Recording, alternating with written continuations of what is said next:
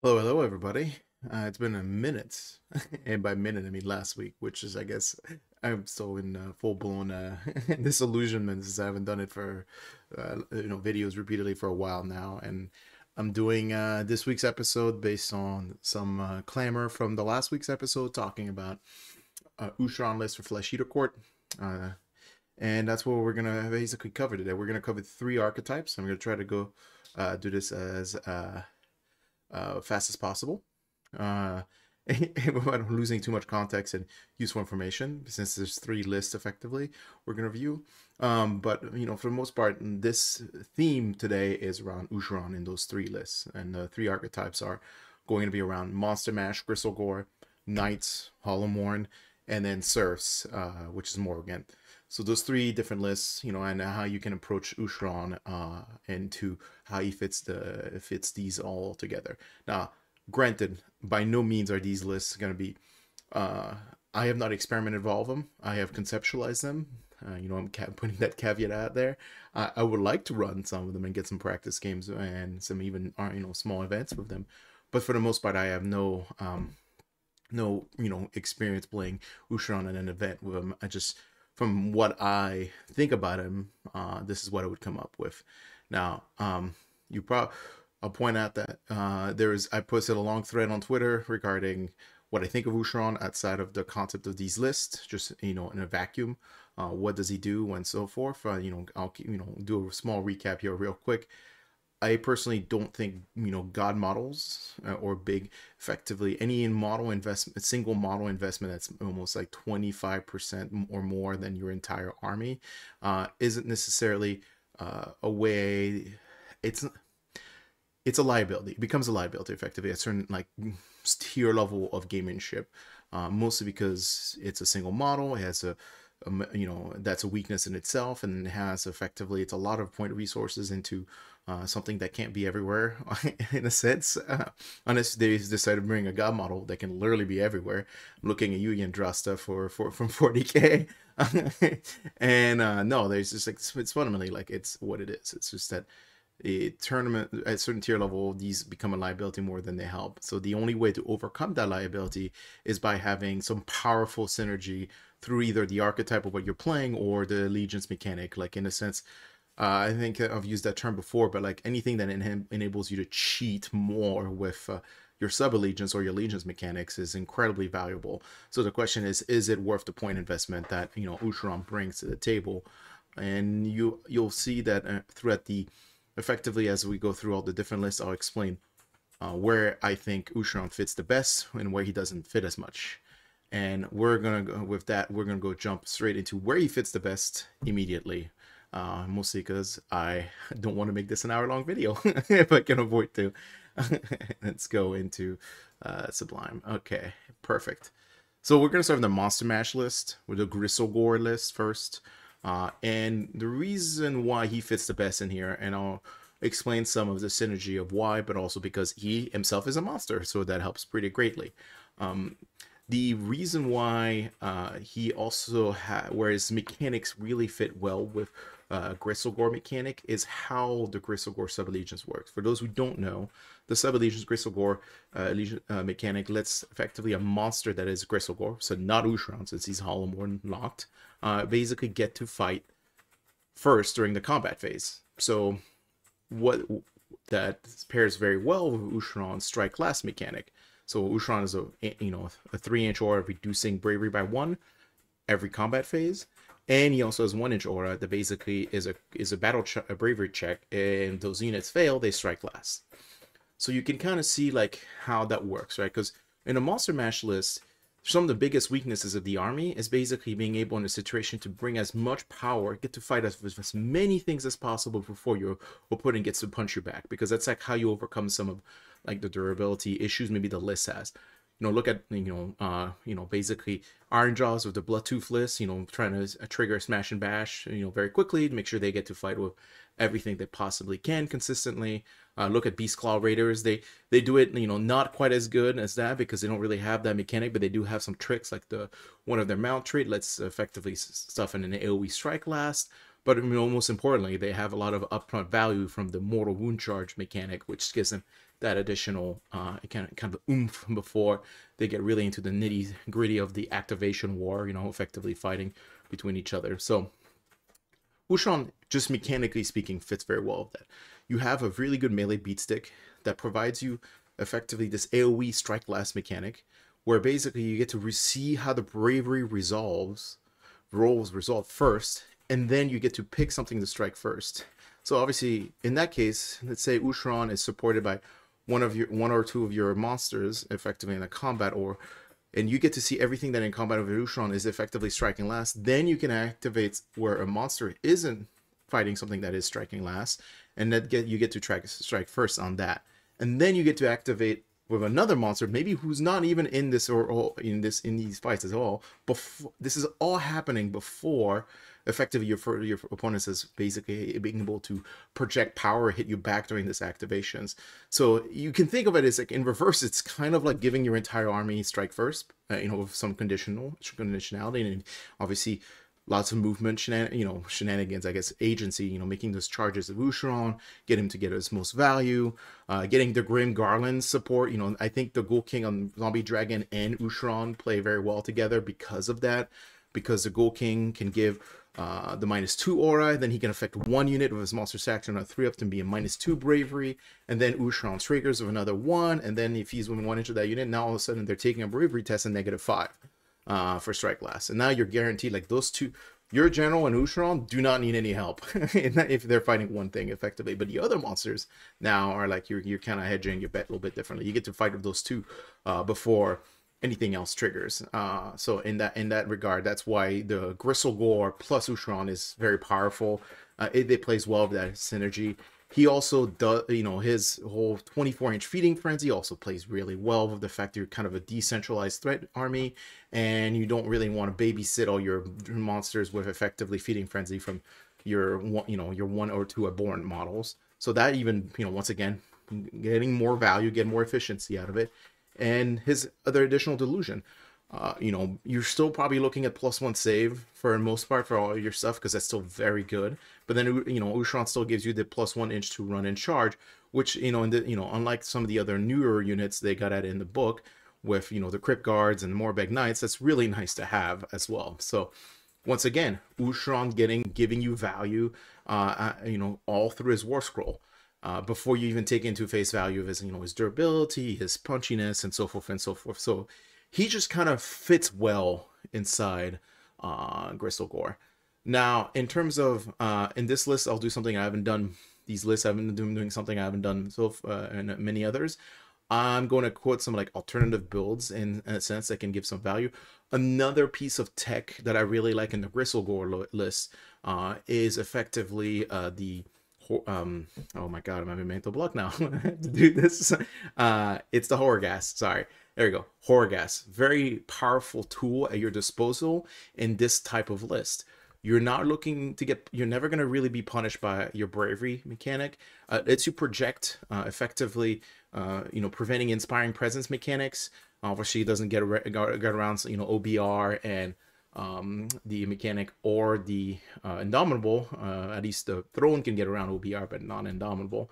But what it does do is it gives you that projected no inspiring presence mechanic on top of which you're playing an army that has a bunch of bravery debuffs so uh, and that it hits pretty hard so all, overall it's like you're getting maximum value uh, both in terms of shooting because most of your units have shooting you're gaining value in combat and then now you're getting even more potential value in battle shock phase so all in all like the, the Horrorghast seems like a pretty good addition to the to the list overall uh, and to get there from this build you would have to drop you know one of your terror guys to 20 ghouls and uh, that would effectively give you the points, right? Because you'd go down 100. The Horrorghast is 60, if I remember. That gives you a 40 point uh, basically swing in your Triumph, which is good to have, not necessary. Bloodthirsty is, is valuable in this kind of list, but I don't necessarily think you absolutely need it. In terms of spell breakdown in the list, you're looking, I still think Crimson Victuals is really good because you don't have a lot of recursion. Because uh, I sacrifice, there's no courtiers in this list. Uh, and when you know it gives you some recursion for maybe your beast flayers because you're going to use them as screens or like you know battle tactic scores or even in a similar matchup as a monster mat- matchup they're really good as a support unit for engagements you know you have superior you'll have superior power against them they're removing their their uh, monstrous action you know whatever. We talked about Beastflayer a lot they're fantastic. So it just it gives you that. Plus it gives you the ability in a matchup to fish for deeds at range with Ushoran uh, without without actually doing any uh, any combat, right? So because you're kind of always in a position to like the only model in this list that can get like really easy, you know, first you know six deeds very quickly is the cardinal because he can sit on the throne, he can give a speech, right? So that's useful because you're trying to get to six deeds for the master of the menagerie and with as many abhorrent models as you can because your recursion isn't your Beastflayers, it's your monsters, right? So having the ability to, you know, respawn those monsters, you know, six wounds taken, seven inches hole even an edge, and then nine inches away is also very nice. Now you'll notice there's no uh, Archregent for the extra spell to get the extra distance. I would argue maybe it's worth it, maybe not. It depends how you want to fit the the list. Uh, like I said, if you drop the uh, the second Terrorgheist for 20 ghouls, you can take an Archregent over the Cardinal but I really like um, Charnel Conviction. Just be- even if it's only like a five up ward save, it's still really nice on some like you know you know some of the monsters there maybe gonna fight things that are not going to be defended very well through your activation mechanics. It's always nice to have. You could always trade that that you know Charnel Conviction prayer to fight for Summer King's favor if you're really trying to fish for more deeds very quickly on your Born King on Royal Zombie Dragon, which we had talked about in the, in the Twitter thread. Like there's kind of opportunities, you know, there's multiple opportunities. You're probably asking why I'm taking Levitate on the, Ghoul King and Zombie Dragon. It's nice to have Levitate as an option for Ushoran. Giving him Fly is pretty pretty cool. It's also very useful in some matchups. Uh, it's pretty, you know, you're not looking to push a lot of spells. You'll you'll see zero to range transformation because uh, I don't think you know I don't think you need it in this list personally. The Venerated Zombie Dragon Mount Trait is incredibly good because it affects all your monsters, including Ushoran, for plus one hit aura. Um, so I, I don't think like that's why you probably take the Zombie Dragon over the Terrorgheist on the character because you want the Mount Trait uh, more than the Terrorgheist ones. You still have access to, in the general list, you still have two Royal Terrorgheists, which are pretty good at honestly just shooting heroes. If you can get them in range of shooting and the Grim Garland trigger on them, uh, it's pretty consistently good at just basically more winning them to death or just really anything. Uh, but it's just it's just a really nice bonus to have. Uh, and they, you know, they're mortal wounds in combat, which is another really with high random, potentially high damage. So another reason why you want them. And then the zombie dragon as a backup reserve unit, you know, effectively because you can keep him in uh, reserve and then come down, and also because it you know prevents inspiring presence. Another mechanic, like I said, that prevents inspiring presence. Have pretty decent shooting as well. Uh, in terms of clearing chaff more than it is for clearing uh, you know single characters, but it's not like the worst, but it's okay. In all in all, like it's just like that's why I feel like the Horrorghast kind of fits in the list, but I don't know if it's sacrificing a second Terrorgheist is is super important. Um, you could technically sacrifice 10 Royal Beastflayers, but then I think your battle tactic path is a bit more challenging uh, because you don't have as easy of a, a, surround option unless you start using monsters to do it. But I feel like you're trying to prevent that from overextending your monster. I think you're just trying to get either to the edges of things or just ram them down the center. They, the list overall, like, is, you know, it's fun for sure. I tell you that right now.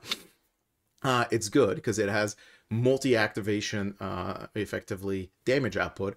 It has also like um, recursion, which is something like you look at Ironjawz and Bloodtoofs and then Beastclaw Raiders, like one of the biggest problems those two books have right now is the lack of recursion. They just don't have any, and this book does, right? So once again, uh, is very powerful. I'm going to make an assumption here, a caveat that the Master of the Menagerie command trait does not require the general to be alive to go off based on the way it's worded, but I'm not willing to put any money down uh, on that. It was not part of the FAQ.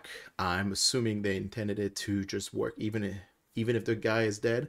But just in case it's required as uh, to be taken uh, uh, and be alive, I'd probably swap it to the Cardinal. The reason why I give it to the Ghoul King on, Ter- on Zombie Dragon instead of the Ghoul, the Cardinal is mostly because for unlocking reprisals, maybe in the later games, like just having the ability to, if he's dead, then you have access to reprisal, which is also very nice for a battle tactic option. Not that you'll struggle that much with battle tactics with this, because Intimidate is very easy if it's a non, you know, a, a, no, a mission that has no man's land. Uh, Surround Destroy is also very easy with the Beastflayers. Uh, well, I say I should say it is doable with Beast Flares. Uh, I would record. I would probably think you'd have to end up doing using one of your fast units, aka Zombie Dragon on one flank, and then auto running the other, uh, the Beastflayer in the other corner to get it. But for the most part, like the list plays well.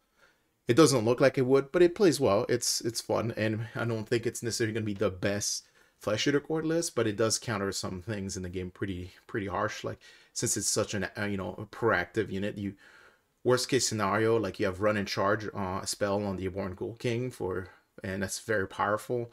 Uh, if you're trying to just basically really put that pressure in early, but you know you're more looking at like a turn two like engagement structure, right? And then you can really bring in like everything into somebody, and then clear chaff through shooting, and then or even some support heroes in the back, depending on your Terrorgheist rolls go. And then you get to fight your entire your all your monsters typically before your opponent gets to even swing, right? So all of those things in combination is just like you can kind of land like a very aggressive punch in the face uh, very quickly.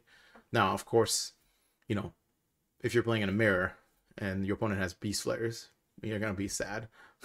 so you're gonna spend more time trying to shoot them out of the off the table than than anything else because you don't want to get any you know stuck in engagement with them. But overall, the list uh, should be good, and I uh, I would say if you're gonna ask me what's the probably winning record for this list at a GT, I'd probably say 3-2, 4-1 with the right level of matchups and expertise. Now, for Ivo seems kind of a stretch, uh, but that's just you know any list that's kind of gimmicky always has kind of a stretch uh, in terms of like a 5 situation. We're going to jump straight into the uh, Knights next, uh, the Knight version of Ushoran's list. So keep context repeating. This Gristlegore, I think, is the list that benefits the most from Ushoran.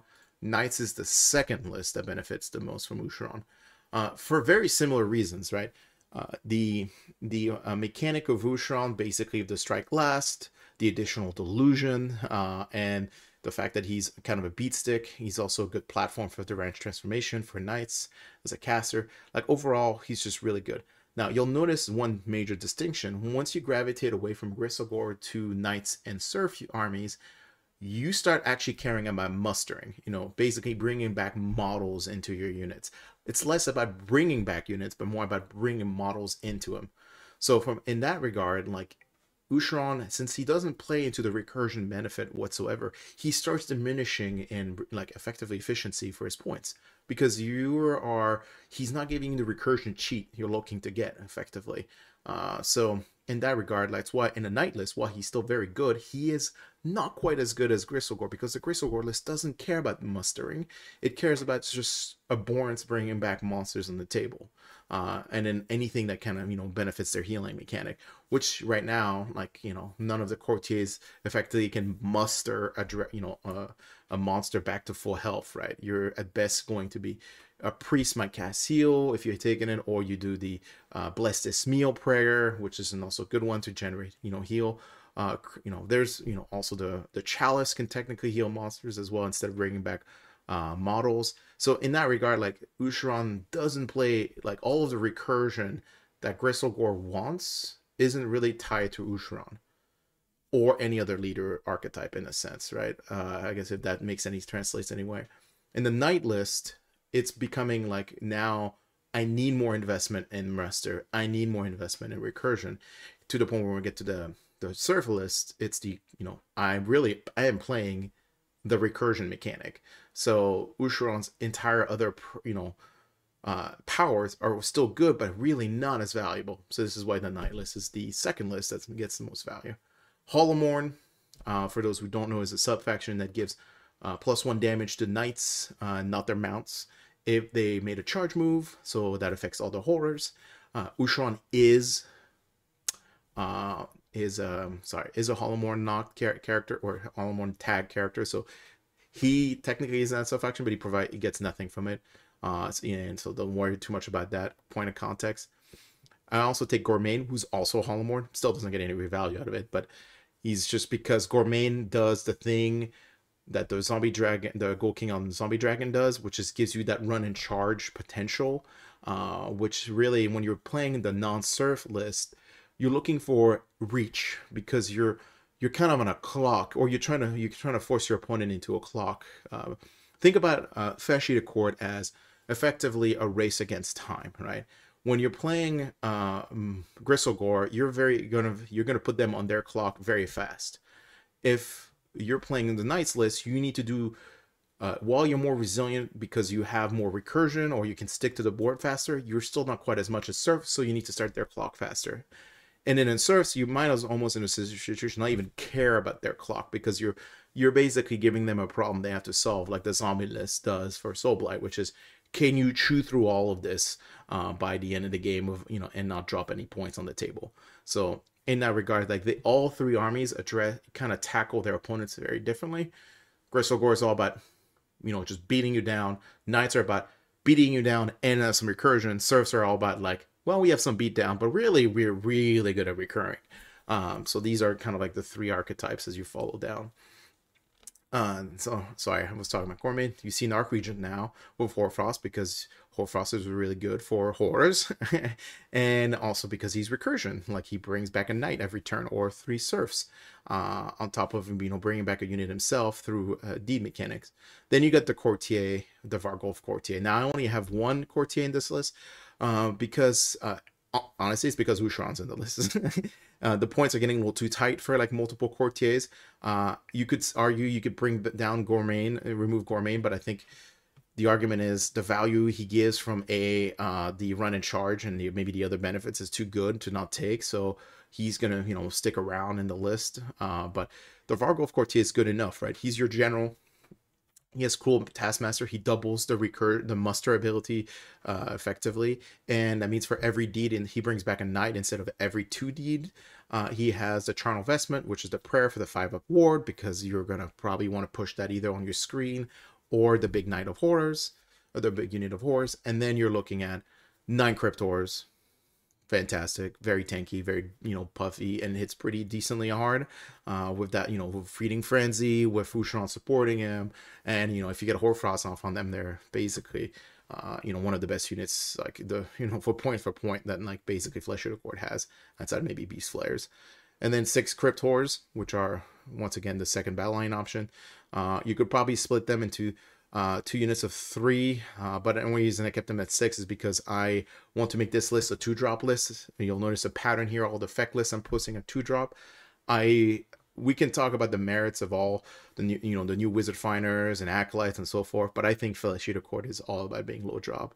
It's not about mm, trying to effectively get all these extra bonus. You you really do not like you when you're a certain you know you're right like all the other benefits if in, in, all the you know if you're playing low to mid table to high table ranges like the other benefits are probably just fine but when you're playing on the top table like caliber players drop priority becomes so, so important uh, about dictating dictating engagements and and you do not want to give your opponents the ability to basically uh, get to your support character support pieces very quickly um, so no i i, I think uh, i think to drop the low drop count to repeat myself again from last week is too important not to take.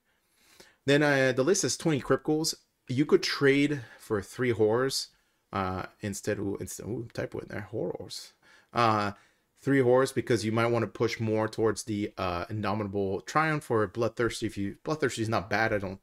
I personally think indomitable once you start getting into the space of like having these multi-model blocks looks better and better than just having a, an extra charge roll uh, or plus one to wound because the ranch transformation is already an option you have in the in the book. So the plus one to wound is kind of redundant at that point. But you know, uh, I also like having 20 ghouls because it's a great backfield. It's also a great screen. Uh, there's also there's just fantastic. You know, for a later game, if they die, you can bring back 10. That's also very nice. So in that regard, like. I there, there's no argument for you know basically trading the ghouls or cryptors unless you want to make a bigger play for triumphs. And then the Chalice, because the Chalice is still very good uh, in this list, even though you're not playing as much like Recursion, just because the healing uh, is really powerful uh, for uh, multiple reasons. You could also trade the the the the Chalice for effectively any other endless spell, honestly. Uh, if you trade the chalice and the crypt ghouls with three horrors, you can it gives you some point adjustments to like take some bigger endless spells that you can take advantage of. But the chalice is you know incredibly like it's just so effective at doing what it needs to do, which is effectively terrify you know waste one of your opponent's dispel and getting rid of a cast to getting rid of it if you're not going to get any value out of it. Uh, it's also small enough to hide behind terrain. Uh, in most in you know some events you know they have like actual like big pieces so you know they can't even dispel it or you can hide behind wildwoods unless you know the caster has like one characteristic of 10 uh to dispel it and so forth and so forth. It's just it's just a it's a good pocket spell to have for 50 points. It doesn't get any better for fleck effectively. Uh and then you know two once again you'll see two units of Beastflayers. You know you want to keep those options alive for basically scoring surround. Uh they're once again in a great support unit. Be like if you're in a situation where you're playing let's say that Gristlegore list your nine cryptors with like the 10 beast flares, you know behind them is effectively you know very now becomes a much harder challenge for your opponent to punch through right? They're gonna have to dedicate shooting. They might even have to dedicate some of the three range attacks or some long charges to get you know to them. Like they just fundamentally like they're just become such a nice support niche piece. And what's you know like i repeat myself again but you know you're still trying to pay for surround if you don't have any other better options uh, on turn one right? In this list i will say though it's more likely than not if you are playing a mission with uh, a no man's land that if you get six deeds on one of the character the character and the throne you can you know because you get to see kind of that before between the throne activation and then the two heroic actions if you're going bottom of the turn you can do glorious feast if you basically maintain yourself uh, pretty tightly on turn one, right? You can so gives you two options on missions that do that have a no man's land. If there's no no man's land, effectively territories are touching, then you kind of have to play for surround as a backup option, right? Uh, or you can, you know, see if you know, it's probably unlikely you'll see your opponent uh, effectively deploy before you when two drop, but if you do, you can always keep the uh, the uh, the Abhorrent Archregent pretty far backwards for casting at least one spell for magical dominance anyway, that's the knight list.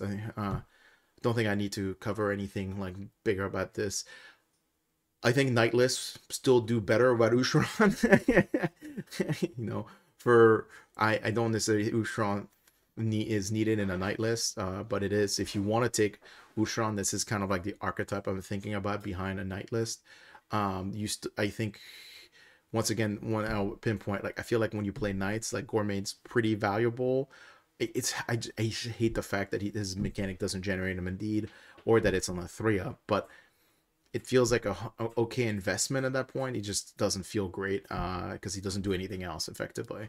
But sometimes i feel like those cryptors need to reach uh potentially to uh basically put some armies in the back foot uh and or basically to have them defense you know defensively deploy more conservatively uh and and so forth and so forth. So Gormayne makes a lot of sense into that uh, and but you know, I, I still think you could drop Ushoran and still have a, a just as good knight list because you could add another Archregent. Uh, so that brings you down to like, let's see, 310 points free, and that's like that's a arguably another. Ooh, there's a typo on the list. I just noticed it didn't do the. Thank you, Age of Sigmar doesn't do the points right on the on the next to the unit block. That should be a uh, 390 points uh, for nine cryptors, not 130, which is the base uh, unit cost. But the points add up correctly at the end of the bottom. Uh, and yeah, so like for 310 points, you're almost up to like another full nine man block of cryptors, right? Like or any you know bigger ghoul unit, or you can at that point even invest in some crypt guard, uh, just to give like Ushoran uh, you know, a four up walking ward save or any of your characters. Like, it, all in all, like, well, I guess we're dropped Ushoran, so no. but like, it would give you buzz for your, all your characters. Um, so in that regard, like, I don't know, they Ushoran's not necessarily an absolute need in the knight list. Uh, and then we're going to transition into the list where he's actually never, almost never needed, uh, and that's a serf list. Um, once again, I just know I'll repeat. I noticed that the points on the side are a little wrong. Uh, makes it worse. The total points are correct, but the uh, uh, war score points are unfortunately the tier points. And I'll, I'll, make sure the comment section of the video has the right points uh, in the in the listing, not the uh, not the uh, summarized like first war score purchase. Okay, let's talk about Morgaunt. Oh man, we're already at the 30 minute mark. Uh, list specifically serfs, once again. Uh, you're looking at very wound dense, right? Like, or it's not wound dense, lots of wounds, 151. Uh, you're definitely uh, playing for, at this point, you're engaged more into the recursion game plan, less into the I'm going to punch you really hard game plan. Not to say that serfs don't hit hard, they actually hit pretty hard. But in this case, we're like engaged into this archetype. Same, crit. you know, you know, two drop, two units of 10 Beastflayers, as you suspect. We talked about the reasons why they're really good. Uh, the ranch transformation, also very good. Uh, this time a Marrow Scroll Herald versus uh, uh, Varghulf because uh, he's just easier to hide in this list. And also uh, in Morgaunt, you're not dependent as much on output from your combat prowess to generate deeds, since you can just sit on points and get them. Uh, now the Varghulf generates these faster potentially, but more risky to play with. In this case, the Marrow and Her- Scroll Herald is a bit safer to play with and stickier since you can't, you know, as long as you don't let anybody get into him in melee, he's kind of tanky. Then you got a Cardinal for Curse because you got lots of attacks, lots of ghouls. Uh, that Curse and the Ghoul auto wounds don't trigger simultaneously. But guess what? Like, all right, you think about it this way Curse is effectively a mortal wound. So it's an auto wound. so on top of an additional damage. So of course you're going to take the curse result over the auto wound and in worst case if you're doing using it for the crypt guard they don't even you know that gives them the mortal wound output. So curse is very useful. Uh, i didn't talk about this in the knight list but the cardinal's base war scroll prayer is also very nice. Uh, just mostly because uh, it's nice to you know preventing it lets you have ways to stop Unleash Hell redeploys. It's not guaranteed but it's really powerful or in some cases all at defense which is another way of you know adding another uh, Rend mechanic as well as inspiring presence. But it's not as consistent, right? Every time they use it, they that unit receives issues a command ability on a four up, it next stops. It's really powerful in matchups like with Katakros. if you can get him within 18 inches of a Katakros and just say every time his like his command abilities fail on a four up, and it's pretty powerful. Uh, but anyway, the you're really taking for the access to the prayer in this case, uh, which is the uh, cursed prayer and then you have uh, one Archregent. Typically in a serf list, I'd feel a lot more comfortable having two Archregent, but we're taking Ushoran for this in this example. Uh, you could technically uh, get close to dropping uh, the Cardinal for another Archregent if you want to play less into that curse support, uh, because you could drop the Crypt Ghouls to 10 Crypt Guards, which gives you 20 points. Oh, never mind. Now we still need we still need uh, 10 points somewhere else, but for the most part, like you you you know once once again Ushoran doesn't play the recursion game, um, and those, most of those other units don't need uh, as much support in terms of like raw power that Ushoran provides. Uh, because you're playing more into like kind of like harder for your opponent to chew through all your units uh, through unless they're getting a double potentially um, and you're playing more into the recursion uh, so not saying he doesn't work in Serf, I just don't think he gets as much value, and I arguably say that Serf list without Ushoran, get, unlike the Knight list, which is kind of debatable. I think that the Serf list don't need Ushoran at all to perform well. But you know, this is where you're effectively going for, right? You're keeping the kind of consistent recursion mechanic, and then you just have Ushoran there. It's basically what it comes down to.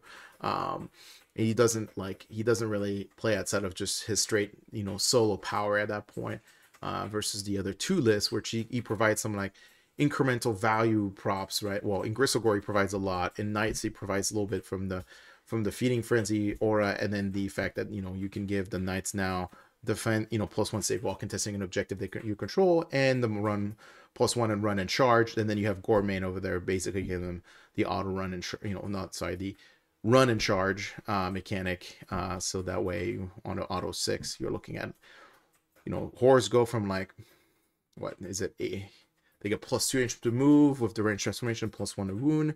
Then if you get Hoarfrost, you either give them, you know, potentially threes or twos to hit or ran two or three. Uh, and then all of a sudden they're running of an additional dice, uh, plus one to dice roll, unless you make them auto run six. So, and then you finally get plus one to charge, which they don't have themselves uh, and and they become like very they have some big big big reach on the table. So in that regard like yes like you know those things play a part into making your list better. Ushoran in goals or serf list he just gives you the delusion really. The feeding frenzy aura is nice, but it's like traditionally you're kind of like your characters you're playing more reactive and less aggressive because you're giving them your opponent so much of wound you know wounds to deal with that like you're not necessarily forced. You can just kind of loiter effectively. You can just sit on points. Uh, you don't really have to engage uh, that hard. Like you're not required as much to hit it. At least is my perception of how this would go. But yeah. I will so to repeat for the you know people getting to the end of the video especially if they fast forwarded to each section uh, I will make sure the points listed on the comment section is correct. I'm sorry, the Warhammer app, when you export it, doesn't like to give you the total point unit cost, but you know, the uh the the, the effectively the cost for each eh, you know battle pitch, pitch battle profile uh before you reinforce it. So I will make sure that's corrected on the comments comment section. Uh, if you have any feedback or if you want to, you know, uh, get, tell me I'm totally wrong about this or whatever, just, you know, hit me up on Twitter, hit me up in the comment section of this video. I'm trying to my best to be proactive in answering people's comments. Uh, and don't worry, like I don't I don't disagree that I might be wrong on all these assessment here because I'm not a I love Ushoran. I would probably run him in the knight list, or if I build a Gristlegore list, I would definitely run him in the Gristlegore list. He's just he's kind of actually competitive in those in the serf list that I'm enjoying playing right now. Not really. so my opinion is very limited to that uh, narrow mindedness. Um, and with that, we're at 36 minutes. We almost wow. We're getting better at talking fast and making sure we cover all the points. I really appreciate your time and you coming and watching it. And please subscribe if you want to keep hearing me talk about AOS, which, you know, while I'm doing this very fast, I can talk for hours about it. So, you know, have a lovely week and I will see you next week.